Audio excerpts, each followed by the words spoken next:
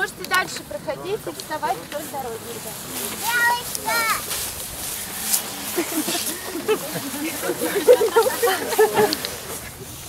Ей тоже не просто, как видишь.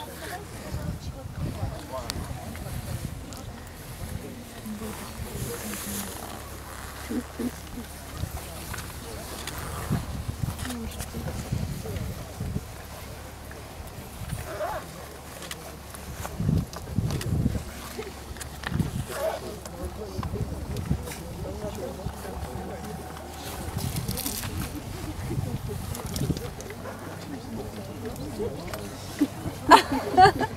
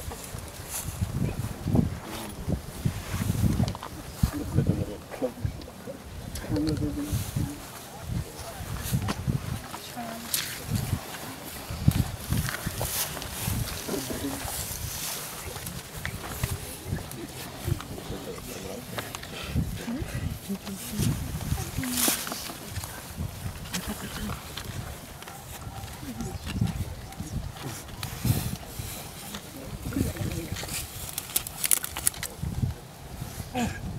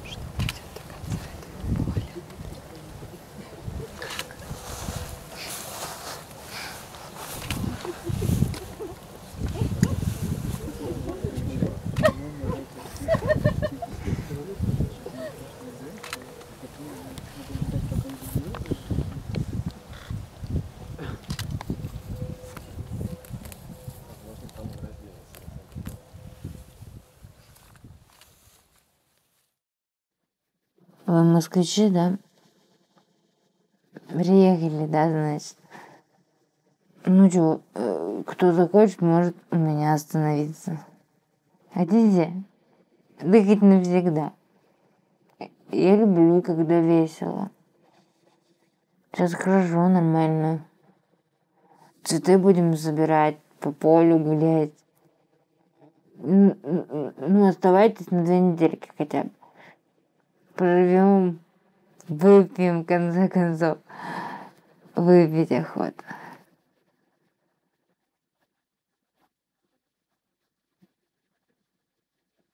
Я слышала, у вас там людей на улицах бьют.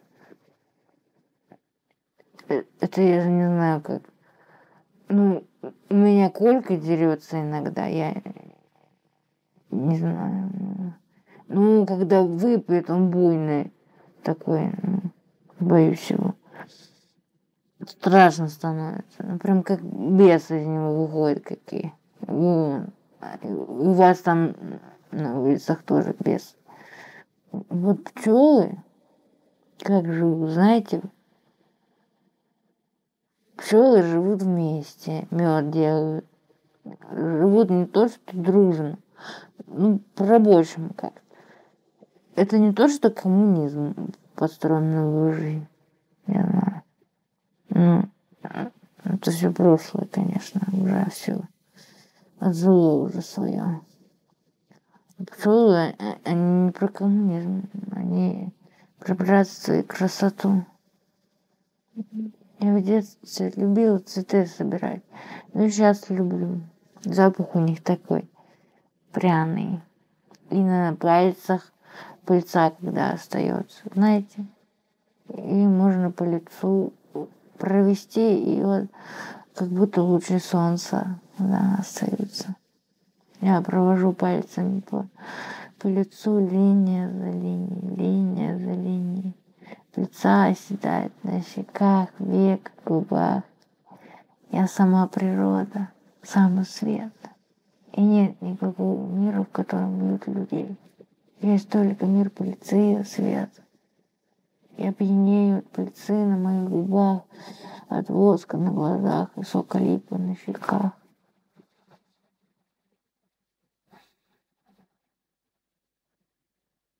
Страшно бывает, конечно. Я говорю, когда только выбьет, то лупить начинает, вот тогда страшно. Синяки остаются. Я выхожу на дорогу и иначе подорожник еще. От него легче становится. Так мама учила меня в детстве. Предложи подорожник, и все пройдет. Я прикладываю, проходит. Сколько хорошего вообще. Вот он так шутит, наверное. Ну, ну и тяжело ему. Без работы остался. Он, он мясник по призванию. А на свои головы денег нет никаких. Я не знаю, как-то остались мы без всего. А вы там хоть и нормально живете, но в Москву я не поеду. Зачем оно мне нужно? Там людей бьют. Понимаете, да? Вот вы скажете, вот Катя, тебя и здесь бьют. Ну, только ну, по любви бьют. Понимаете, да? А то сток. А у вас там сила другая, поганая. Мухи летают над городом. Я вас не видела. Вот. В Москве все мух. Или Москву только на открытках видела. И на фотографиях э, в телефоне у Степана. Ну, Красная площадь там стоит, да. Ну, башня это. Ну, разве башня это, она вечная? Больше что? Это разрушить можно. А природа, природа никуда не денется. Сколько бы ни было царей, вот ничего не. Приходит, уходит, ну, рад. Так же, как все. Думаю, даже наверное, кровью харкает. И это Харькова однажды. Я тогда еще пить особо не умела. Брат привез на праздник литровку, а я на радостях выпила больше половины. Мне 14 было. А это, считай, самогон. Ну, меня самогон гонит. Ну, сейчас уже не здесь живет. Там в городе вроде бизнес какой-то, бар что ли открыл. Пиво там, водка, селедка, то все. Э, мы с ним не общаемся. Сама на смерти. Ну, не знаю, что там. Дележка началась, наследство. Я не люблю это. Это что-то, деньги, вот это вот. Не мое это. Это не моя природа.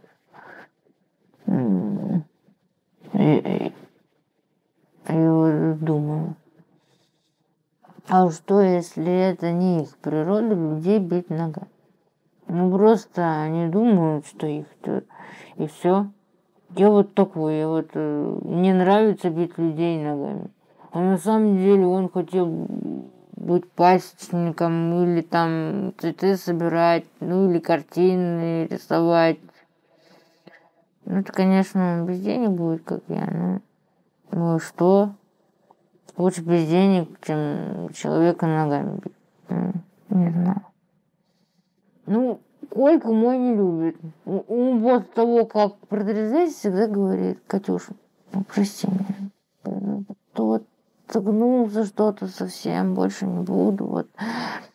Ну, я пообижаюсь немного и что, прощаю. Может, как не простить? Ну, думаю, люди, которых палками набьют там на Красной площади, они тоже прощают. Потому что у них цель есть. Вот. У меня тоже какая-то цель была, не знаю, но исчезла. Не знаю, что лучше, бесцельно жить или бить ногами. М-м. Я вообще выпить хочу. Так трудно думать. Ну вот потому что ну как это так бить людей ногами, я не знаю. Ну хотя кто я такая, чтобы там что-то говорить. Я как узнала, у туристов начала выспрашивать, что-то как, что за нескладуха там такая у вас вышла. Вот, получается. Одних, значит, куда-то не допустили там к власти, другие. Ну, как бы их эти собратья по улю, да. Хотят, чтобы их допустили. Охранники другого ули говорят, нет, нам вот это все, ваши царицы не нужны, нам это зачем, нам своих достаточно, вот. Ну, это я так понимаю. Ну, вот странные какие люди, вот. А у пчел все понятно, у них старая царица свое отживает, ну все, не может она больше новых детей делать. Да, то есть как бы новых детей не будет, значит не будет новой жизни, нового меда, все, все погибнут. И пчелы как нормально разбираются, что вот к чему. Нам царица это не подходит, она старая, пусть уходит. Убивать они не любят. Не хочет уйти, пусть уходит. Они все там просто что, уходить не хотят. Если никак не пойму. Ну, это же природный цикл, как в природе. Пришла весна, и новые колонии строятся заново. Вот, все заново начинается. А тут что получается? Цикл за циклом, весна за весной, все по-старому. Ну, бьют не старых цариц, а молодых пчелят. Это как-то больно. Мне больно от этого, я не знаю. Больно за молодых. Я сама молодая. М? И за себя тоже больно. Но по-другому. Я справляюсь. Я сама все могу. Да, что, что пью. Ну, Мне так весело просто живется. Этим молодым же помощь нужна, опора какая-то, значит, зацепиться за что-то надо. Не знаю. Ну, ну пчелы, пчелы просто так убивать не будут. Это ненормально по их законам. М. Ну, Зачем разводить войну, если можно просто уйти? Там в лес уйти, через поле, не знаю. Там как-то исчезнуть. э, Потом вернуться, если захочешь. Ну, в смысле, там вернуться не так, как хочешь, а это как цикл. Был одним, стал другим. Реинкарнация еще это называют. Я, я в религиях не разбираюсь. Вот это вот все. А вообще верю, верю, честно верю. Я верю во все сладкое и красивое. Это моя такая Катина вера. Я сладости, ой, ой, как люблю. Э, обожаю. Вот даже могу водку не купить, че- честно-честно, не купить могу, а, а шоколадку куплю. Вот хоть какую, любую. Обертки от них собираю. Да, у меня коробка целая есть с обертками, ну, от конфет разными. Я их храню и еще прошу привозить, если кто куда ездит. Вот у меня даже есть одна заграничная из Абхазии. Степанна ездила, привезла мне. Говорит, Катюша, на тебе шоколадку. А там обертка какая-то, муга, пастухи бегают, все в цветах. Ангелочек уже нарисован, ну, как бы над ними, над всеми, кто там работает. Смотрит на них сверху и улыбается, думает, какие вы молодцы, ребята, что так трудитесь. Никаких там пришельцев не нарисовано, ну, эти, которые в касках. Да. Откуда им на поле взяться? На поле некого бить. Поле не место для войны. Вообще природа не место для войны. Я поняла, вот проблема у вас в том, что вы там не дышите. Вас поля просто нет. Вот я люблю по полю ходить босыми ногами. У меня своего поля нет, но все равно мое, понимаете. Я могу по нему вот ходить, валяться, купаться, вот тут вот все в грязи. Да, я люблю свое поле. Я эту грязь люблю. Потому что это другая грязь, это настоящая грязь, не человеческая. Это грязь от любви, от солнца, вот от Бога какого угодно. Я создал кто угодно, но не человек. А, а в Москве там грязь человеческая. А человеку грязь создавать нельзя, он не умеет это. Этого никто не умеет. Незачем ему это уметь. Плохо это. И перестань человек создавать грязь. Бери свои ноги, разувай ботинки и иди вон по лужку. По полю иди. Что там у тебя есть? А что у вас там? Я даже не знаю, честно. Честно, я не знаю.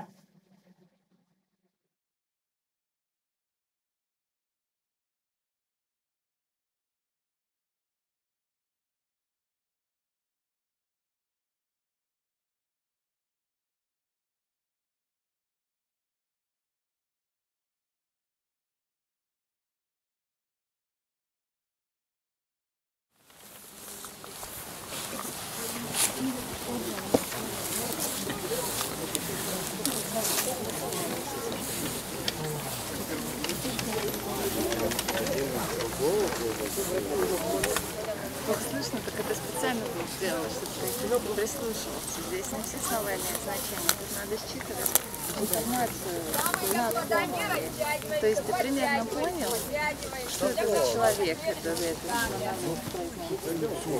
Где понял примерно, что это за женщина, да? Я она видела. Ну, хотя бы примерно. Что?